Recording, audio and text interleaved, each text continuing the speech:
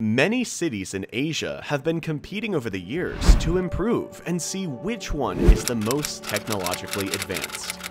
As we know, this region has always been known to have some of the most amazing advances in lifestyle. So, when the first rumors emerged about Japan's upcoming aircraft, most countries were not surprised. But what are these projects all about? Are they a new breakthrough that will make people's lives easier? Or is it a structure designed to improve the quality of life for those who can afford it? Believe it or not, Japan's planes have to do with both questions. So, if you are into technology and those wonders that are usually created in Japan, then we recommend that you stay and enjoy the article. You're sure to like the project that the nation is starting to develop. As you know, Japanese culture tends to focus a lot on technology and its use in everyday life.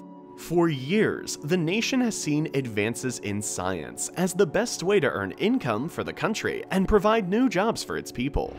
As a result, the changes that some of its cities have undergone and continue to undergo often provoke equal parts admiration and surprise. Their projects are often loaded with a dose of creativity, along with a good deal of engineering and inventiveness. They are ambitious in the best sense of the word, which is why the news that they want to build a city in a certain uninhabited area of Tokyo Bay sounds so strong that many were already expecting a Japanese government to carry it out. That's right, they are not the first to think of this marvel that combines high technology and sustainability, but they are the ones who have started to develop a plan to make this wish come true. As we have already seen in several futuristic films and series, some areas that make up Tokyo Bay are land that is made up of pieces of land that have been reclaimed from the sea. This is no exception, and in an effort to take advantage of these tracks, the government has decided to put its planes to work. To that end, the capital's deputy governor, Manabu Miyasaka, decided to launch what has been called one of the most challenging projects in recent years, and begins plans for such a futuristic city to become a reality. Called Tokyo Bay ESG Project 1, the aim of its creators is to boost international competitiveness by creating a sustainable city. It also seeks the adoption of cutting-edge digital technologies within the precinct, Quote, Tokyo expanded by creating land reclaimed from the sea, and that's a big advantage for us, Miyasaka said in an interview. No one lives on the land we plan to use, so we can start from scratch, rather than disrupting people's daily lives, he added. Now that we know what they're looking to do in that stretch of Tokyo Bay, it is worth noting that the parcel of land earmarked for the project is 1,000 hectares, or 2,470 acres, and of that, one-fifth of the development has already been completed so far. Although that area was used for the canoeing and rowing competitions held during the Tokyo 2022 Olympics, today it only stores some garbage containment plants, which the government is considering moving to other locations. Miyasaka and his team have started sending out invitations for companies to run pilot programs that provide solutions to the challenges facing their major cities. This is in order to attract a certain number of companies to provide new technological solutions that will help with traffic reduction, greenhouse gas emissions, clean energy generation, and other issues. Why do that? Because the government wants the quality of life in their cities to increase by mid-October. It is because of that that they have decided to inject up to 30 million yen, or $7.3 million in funding. While their goals are valid and worthy of note, such improvements aimed at generating clean energy and purifying water, air, and soil are sure to generate significant expense in the years to come. That is why the City by the Bay project is so important, as this site would have all of these tools and more from its conception. Now that we finally have a broader view of the panoramic project underway in Tokyo Bay, many are sure to wonder how long it will take the country to accomplish such a great feat, as well as other facts that remain to be done with the construction of this revolutionary city. Are you ready to know more about it? Let's continue with the video.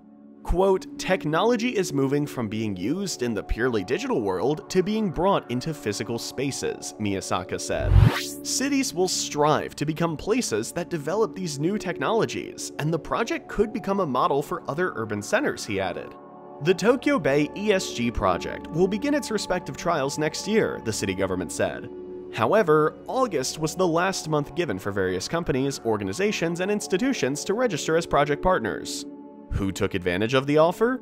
55 named corporations, including Sumitomo Realty and Development Co., Toyota Motor Corp., NTT Urban Solutions Inc., NEC Corp., Konami Group Corp., and Asahi Holdings Corp. Thanks to his previous experience at Yahoo Japan and the fact that he has been running his own company for several years, Vice Governor Manabu Miyasaka has the know-how to bring more developments to the city and surrounding areas.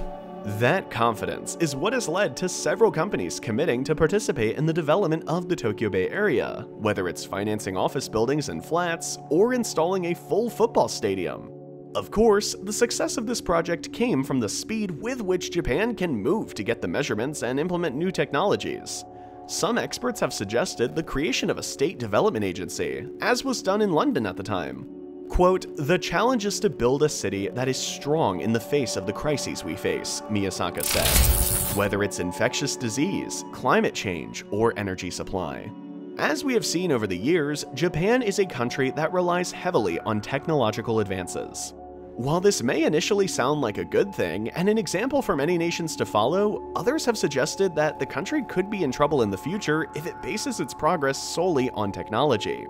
This is because of the energy crises that are beginning to be felt around the world and the problems that have resulted from armed conflict and the pandemic itself.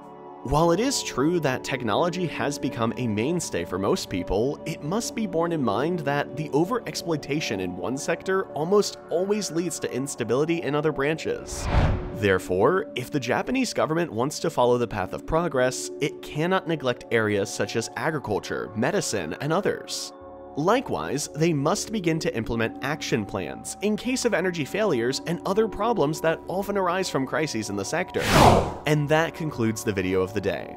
From what we could see in the ambitious project that the people and the government of Japan want to carry out, Tokyo Bay will become one of the most attractive places for tourists, as well as one of the most futuristic options for inhabitants of the region to enjoy. This will undoubtedly benefit many within its construction and subsequent management. However, questions remain. What will happen to the residents surrounding the construction site? Will they also enjoy the popularity that the city is sure to gain, or will the sites be lost to the project?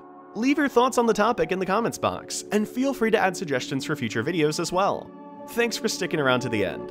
Don't forget to subscribe and give us your thumbs up, so that the site keeps recommending our content to you.